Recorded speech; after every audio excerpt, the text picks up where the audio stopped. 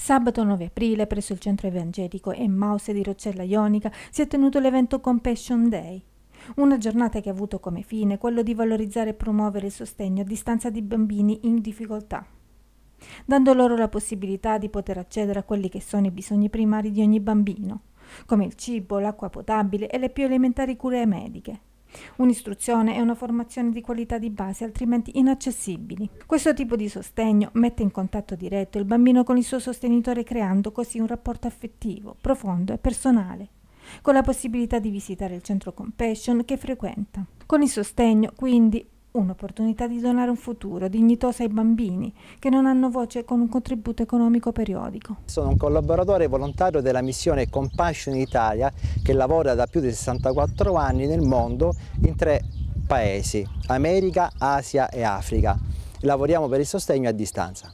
Oggi qui al centro evangelico della struttura Emmaus, sita per l'Orcella Ionica, abbiamo un incontro dei collaboratori che lavorano con noi per aiutarci a trovare sostenitori affinché altri bambini possano avere un futuro per la loro vita attraverso l'istruzione. In poche parole spieghiamo il sostegno a distanza che cos'è. È un sostegno di 26 euro al mese, non c'è alcun vincolo contrattuale ma solo un vincolo uh, morale che eh, viene versato mensilmente il bambino con le modalità di pagamento che il sostenitore decide eh, di attivare. E praticamente questi 26 euro al mese noi permettiamo al bambino di frequentare la scuola pubblica, di andare al centro Compassion dove lì faranno dei corsi professionali più uh, dopo scuole e attività ricreative e si occuperanno anche dell'alimentazione e, um, e, del sostegno anche medico che hanno di bisogno giornalmente, quotidianamente e anche operazioni particolari vengono trasportate da, attraverso aerei, pullman e navi affinché vengano operate per poter eh, essere guariti nel, nel loro problema problema.